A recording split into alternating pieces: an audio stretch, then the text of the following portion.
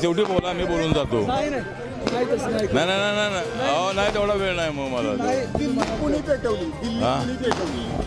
दिल्ली पेटली सात जणांचा मृत्यू झाला दिल्ली नेमकी कुणी पेटवली?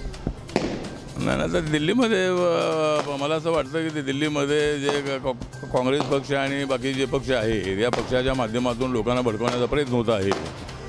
आणि काँग्रेसही त्या ठिकाणी दिल्ली पेटवण्याचा प्रयत्न क- करत आहे. मला वाटतं की दिल्ली शांत राहिली पाहिजे दिल्ली शांत असली पाहिजे दिल्लीच नाही तर सगळा भारत देश शांत असला पाहिजे.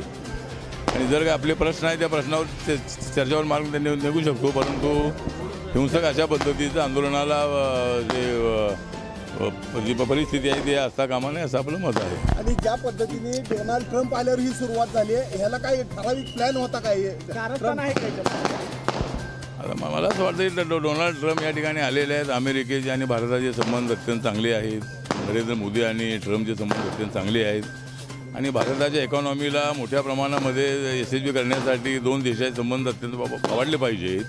आणि काँग्रेसच्या कालखंडापासून अ, अमेरिकेचे आपले संबंध अत्यंत चा- चांगले राहिलेले आहेत. आणि मला असं वाटतं की आता याची चौकशी होणं अत्यंत आवश्यक आहे. ड- डोनाल्ड ट्रम्प या ठिकाणी आल्यानंतर या ठिकाणी जर अशा पद्धतीत दंगल पेटवली असेल तर त्याची संपूर्ण चौकशी झाली पाहिजे.